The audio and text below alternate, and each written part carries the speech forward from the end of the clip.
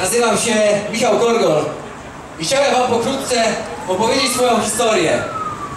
Wiecie, ja przez 30 kilka lat mojego życia tu na ziemi żyłem w przekonaniu, że Bóg, jeśli w ogóle jest, to potrzebują go najwięksi zwyrodnialcy, bandyci, degeneraci, złodzieje, narkomani. Ale ja, porządny człowiek, porządny, uczciwy obywatel. Wiecie, ja zawsze byłem prymusem. Skończyłem z najwyższą średnią szkołę podstawową. Skończyłem z wyróżnieniem studia prawnicze na Wydziale Prawa i Administracji Uniwersytetu Warszawskiego. Z pozoru bardzo dobrze realizowałem się w systemie tego świata. Ludzie utożsamiali mnie, mówili człowiek sukcesu, człowiek sukcesu. Zbudowałem dużą firmę, dwustuosobową. Założyłem rodzinę, zbudowałem dom. Teoretycznie wszystko było pięknie, ale wiecie jaka była prawda o mnie? Byłem samotny, byłem nieszczęśliwy i każdego dnia udawałem kogoś innego. Każdego dnia zakładałem maskę. Na spotkanie z rodziną, na spotkanie z sąsiadami, na spotkaniach w pracy. Ciągle kogoś udawałem, bo wydawało mi się, że jak nie będę na tyle silny, jak ten system tego ode mnie wymaga, to ten świat mnie wypluje nie dam sobie rady. Bałem się, ale to ukrywałem. Wiecie, i doszedłem do takiego miejsca, kiedy już cztery razy w roku wyjeżdżałem na zagraniczne wakacje, kiedy teoretycznie wszystko miałem, że tak naprawdę nie widziałem, nie wiedziałem jaki jest cel, jaki jest cel, wiedziałem, że to nie o to chodzi. Wiedziałem, że nie, że to nie o to chodzi. Wiecie co? I wtedy po raz pierwszy, po raz pierwszy w życiu wtedy usłyszałem Ewangelię. I ja zacząłem zadawać sobie pytania. A może jednak jest inaczej? Może Bóg to nie jest ten cały chory religijny system, który do tej pory zawsze mnie otaczał. Może Bóg nie ma nic wspólnego z tymi kapłanami, który, których do tej pory w życiu poznałem. I zacząłem zadawać pytania. I chcę Ci zadać je dzisiaj.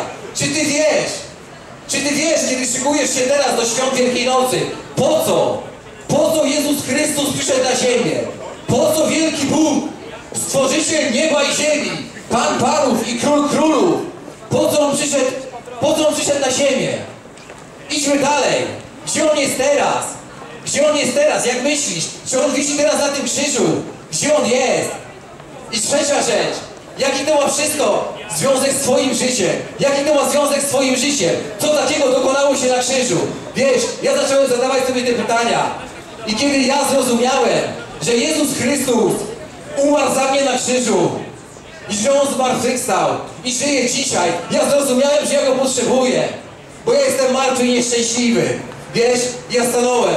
Stanąłem i uznałem, że to wszystko, co było do tej pory, to jest nieważne. To są śmieci. Powiedziałem, Jezus, ja przepraszam Cię, że tyle lat żyłem bez Ciebie, że postrzegałem Ciebie jako pryzmat tej chorej religii. Ale Ty przyjdź do mnie, Ty przyjdź do mnie i prowadź mnie w moim życiu, bo ja więcej nie dam rady. I wiecie, co się stało? On przyszedł, On przyszedł, bo każdy, każdy z Was, kto wezwie dzisiaj Jego imienia, będzie zbawiony. Jeszcze dzisiaj, jeszcze dzisiaj możesz spotkać się oko w oko żywym Bogiem. Jeszcze dzisiaj możesz mieć z Nim spotkanie, możesz z Nim mieć relację. On wszystko już dla Ciebie zrobił. Na krzyżu Golgoty, na krzyżu Golgoty wykonało się bardzo dużo. Tam nie ma dzisiaj Jezusa. Jezus zmartwychwstał, pokonał śmierć, abyś miał życie wieczne. Pokonał grzech, aby grzech nad Tobą nie panował. Pokonał wszelką chorobę. Jeśli dzisiaj chorujesz, to tylko dlatego, że albo nie wiedziałeś o tym, albo że chcesz być chory, albo nie wiedziałeś o tym, że Jezus pokonał wszelką chorobę. Ale my nie chcemy Ci głosić dzisiaj tylko, my chcemy Ci również prezentować. Jeśli jesteś chory, może lekarze powiedzieli, że jesteś chory na nieuleczalną chorobę, podejdź tutaj do nas. Podejdź tutaj do nas. Będziesz mógł doświadczyć żywego Boga dzisiaj. Żywego Boga w praktyce. Jezus żyje. Jezus żyje. Jestem tutaj dzisiaj Jego wysłannikiem do swojego życia. Nie przyszedłem tutaj dla siebie. Przyszedłem tutaj dla Ciebie. Ty wiesz, jak bardzo go potrzebujesz. Wiesz, ile razy chowałeś głowę w poduszkę, płacząc, zastanawiając się, czy tak musi być. Może uciekałeś w używki. Ale wiesz, jak bardzo jesteś samotny i nieszczęśliwy. Jeden z podstawowych poselstw, które głosił Jezus Chrystus chodząc tutaj po ziemi, w ciele, Musicie narodzić się na nowo. Kochani, to jest bardzo prosta prawda. Jeśli nie narodzicie się na nowo, nigdy nie wejdziecie do Królestwa Bożego. Do Królestwa z Bożego nie idzie się wskutek tego, że się chodzi do jakiegoś kościółka, że się jajeczka do koszyczka wniesie i się ładnie poświęci. Do Królestwa Bożego możesz pójść wtedy, kiedy przez wiarę narodzisz się na nowo i jeszcze tu na ziemi zostaniesz obywatelem nieba. Ja się pytam Ciebie dzisiaj, czy chcesz, czy chcesz spotkać żywego Boga? Czy chcesz? Czy Ty tego chcesz? Jeśli tak, podnieś rękę. Podnieś rękę, podejdź do nas. To jest najważniejsza decyzja Twojego życia. Najważniejsza decyzja Twojego życia. Jeszcze dzisiaj możesz być obywatelem nieba. Jeszcze dzisiaj możesz czerpać wszystkiego, co Jezus zrobił dla Ciebie na krzyżu Golgoty. Możesz niszczyć dzieła diabła. Możesz panować realnie.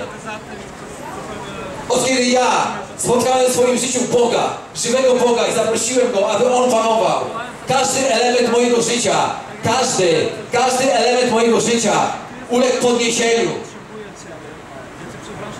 Każdy element. Ja Cię pytam dzisiaj, czy Ty chcesz, czy Ty chcesz zostać obywatelem nieba? Kochani, jesteśmy tutaj, jesteśmy tutaj dla Was. Zapraszamy Was.